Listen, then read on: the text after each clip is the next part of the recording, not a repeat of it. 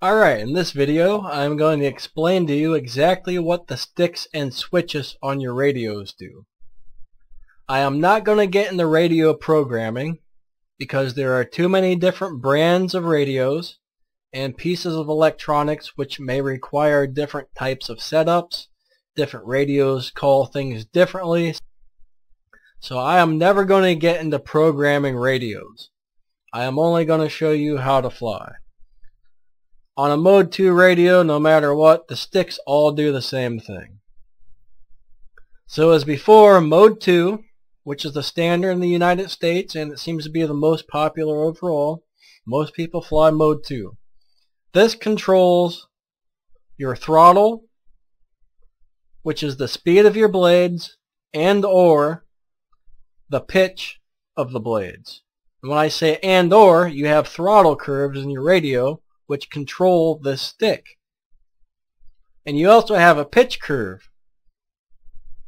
This stick is, controls your pitch curves and your throttle curves. So your throttle curves, I will get into throttle curves and pitch curves because these are pretty standard on all radios.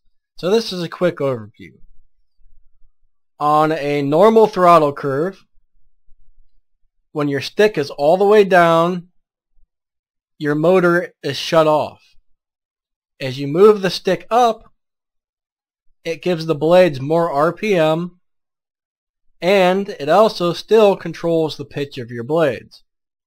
The way I set my helicopter up is always in stunt mode. So no matter what, my blades are spinning at the same RPM no matter where my stick position is.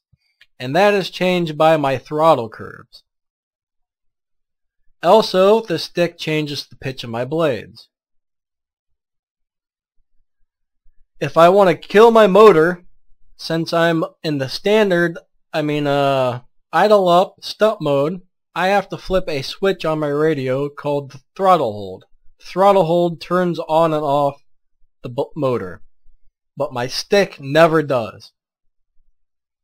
I do not fly in normal mode ever, so I always have to have the switch to turn my helicopter motor on and off. Alright, so I am in stunt mode or what we call idle up. When I move the throttle and or collective stick up, the helicopter goes up. I move it down, it goes down. If I move the tail stick, it spins the tail.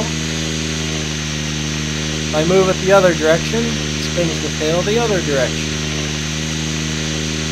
Now the stick on the right hand side, if I move it forward, the helicopter tilts forward, flies forward. If I move it backwards, the helicopter tilts backwards and flies backwards. If I move it to the right, the helicopter moves to the right. If I move to the left, the helicopter moves to the left. When I'm upside down, if I move the throttle and or collective stick down, the helicopter goes up. If I move it up, the helicopter comes down. Alright, now the switch is on the radio Usually one of these two switches are going to be your throttle hold. Generally it seems to be the one in the back. I think my buddy's Futaba radio is this one. I think you can change that in a lot of radios. Some come standard. So you want to make sure what switch is what on your radio. You'll see you'll have all these other different switches on your radio. I don't really tend to use many of these. For the most part, I use my throttle hold. On my Spektrum radio, which comes set up standard, this switch right here on the very back on the right hand side of the radio kills the throttle of my motor. This stick on the front left hand side of the top, this is my idle up or stunt mode switch. I can have a normal mode, stunt mode 1, and stunt mode 2 or I can have stunt mode 1, stunt mode 2, and stunt mode 3. The way I set mine up is this is zero throttle. I have my throttle curve set for zero throttle on the first position of the switch. So this is an additional throttle hold. All these other switches do different things. I never use these. I keep so all my stuff is set up the same at all the time. For instance, maybe I'll flip this switch and the helicopter might be less aggressive towards my stick movements. Like it may not react as fast to my stick movements if I move the switch or the switch. Each one of these is for a different channel and whatnot on your helicopter. I set, these are all programmable in a good radio. I set all the programming exactly the same for these switches.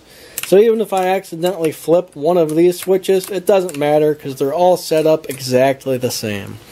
For the most part, I worry about throttle hold and I worry about my idle up or stunt mode switch. Idle up and stunt mode are the same thing, it's just a different term. So that concludes the radio.